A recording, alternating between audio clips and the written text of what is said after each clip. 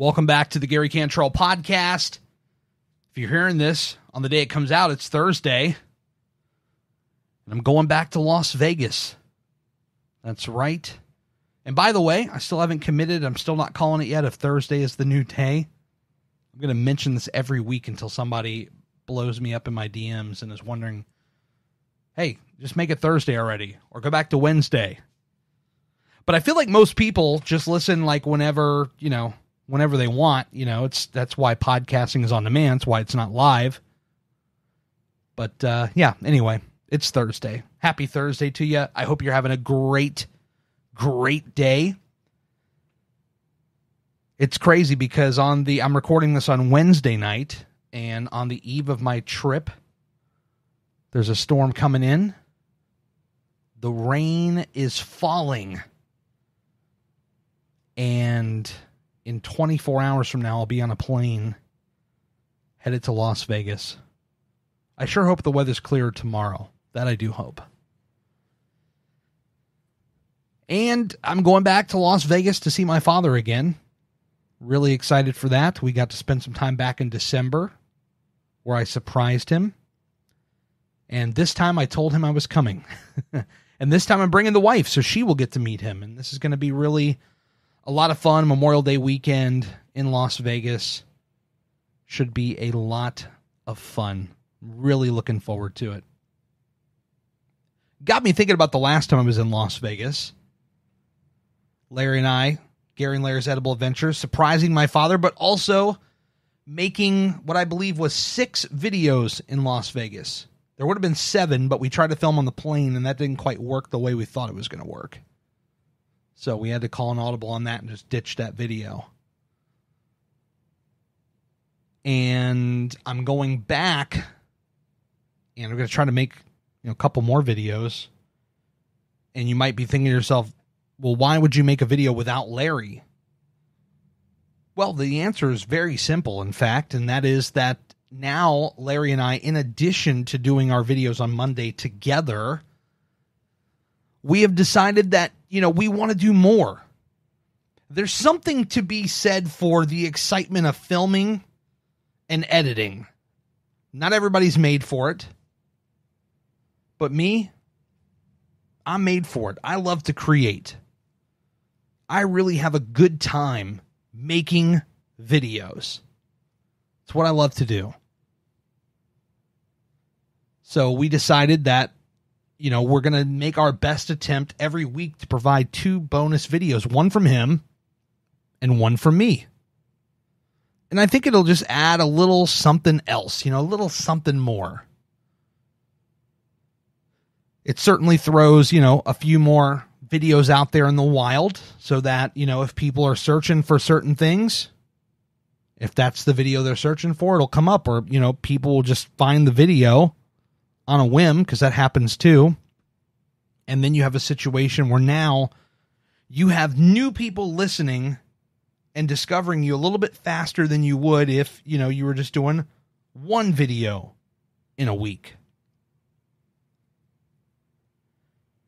And no, it's not about, you know, blowing up real quick. It's not about trying to grow overnight because we've been doing this now for almost a year. We're as patient as can be, but we just enjoy the art of creating videos. And I, I, I'm, I'm a bit nostalgic for the video we did at Del Taco, of all places. This was actually a podcast topic I was going to bring up before, and I I never got to it.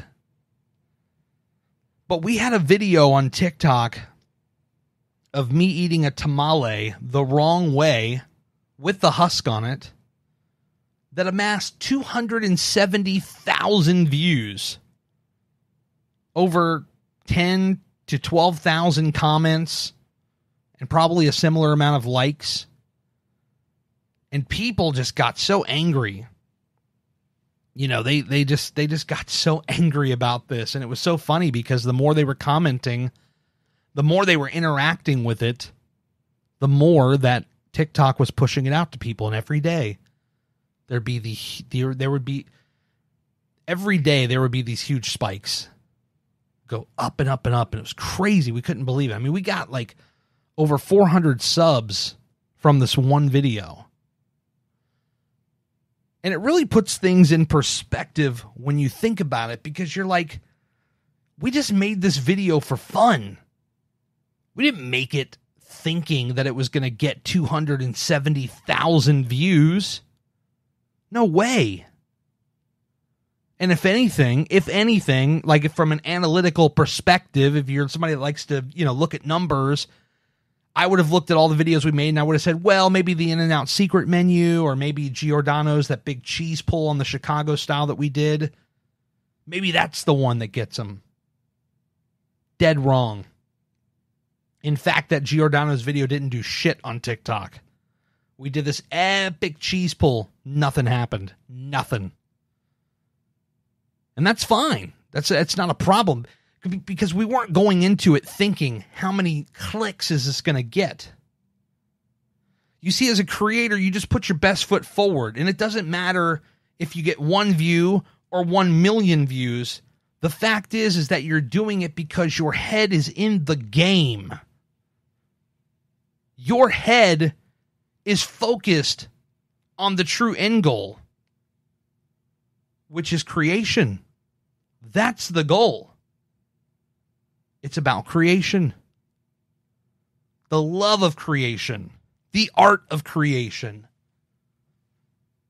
And so, on the eve of my return to Sin City, Las Vegas, I'm nostalgic for that love of creation. I'm feeling it. And I don't know what I'm going to come back with. I told myself, try to just make two videos. Like, don't try to make, you know, six videos like we made in what, four or five days. I'm not going to do that. Or at least I don't think I'm going to do that. That's not the intention. The intention is to try to get like maybe two videos out of it. And if I get four, cool. But I just want to get something out of it and enjoy my trip because the problem with me and fellow creator fellow creators out there, please chime in. Tell me if you deal with this as well, where maybe you're somebody like me, you work a full time job, creating is not your full time job. You wish it was your full time job, but it's not your full time job. And then you get vacation time, and all you can do is think about creating. Wow, I have a whole week off. I don't have to worry about anything else but living in the moment and having fun, doing the things that make me happy. Well, my friends, creation is what makes me happy. And so when I go on vacation, I almost pretend like it's my full time job. Like for that next week, that's my full time job. And I just have so much fun creating, creating, creating. I live for that shit. And that's how I know that this time is going to be different from all the other times. The years past where started something, fizzled out, started something new, fizzled out. This ain't fizzling out. This right here is what I'm doing. And I'm seeing this thing all the way through. That's it. That's the whole purpose is to see this thing all the way through. I'll leave you with this. I encourage you to find that thing that truly makes you happy. Think about it. Think deep down about that thing that makes you happy. And it doesn't have to be a creative thing like you know a creator like a video you know podcast or youtube or whatever. But think about it. Ask yourself this like what you're doing in life. Are you really happy at what you're doing? Or with what you're doing? Whatever. English is hard. Um think about it are you happy And if you answer no, you need to think long and hard. You need to go figure out how to find that happiness. Go get that shit. Go get it.